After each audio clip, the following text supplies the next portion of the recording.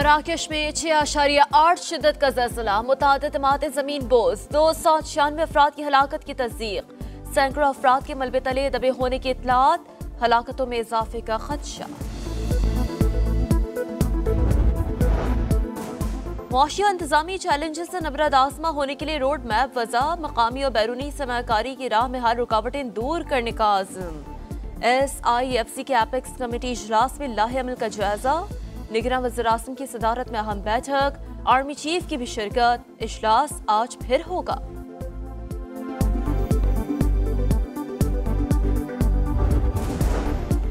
بجلی بلوں پر ریلیف کا فیصلہ پیر تک ہو جائے گا۔ معاملہ آئی ایم ایف کو بھیجا ہے۔ اسپیشل انویسٹمنٹ فیسیلیٹیشن کونسل میں بجلی ٹیرف اور ڈسکوز کی فروغ پر بات ہوئی۔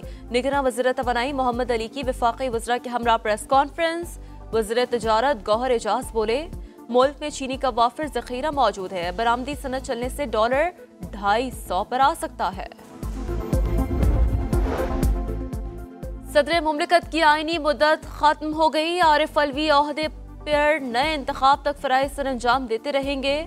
بطور صدر، انہوں نے دو منتخب اور ایک نگراں وزیراعظم کے ساتھ کام کیا۔ دو بار قومی اسمبلی بھی توڑی۔ کراچی میں فائرنگ کے دو مختلف واقعات میں دو افراد جم حق بلدی اتحاد ٹاؤن میں فائرنگ سے نوجوان قتل پولیس کے مطابق واقعہ ڈکیتی مزاحمت کر لگتا ہے۔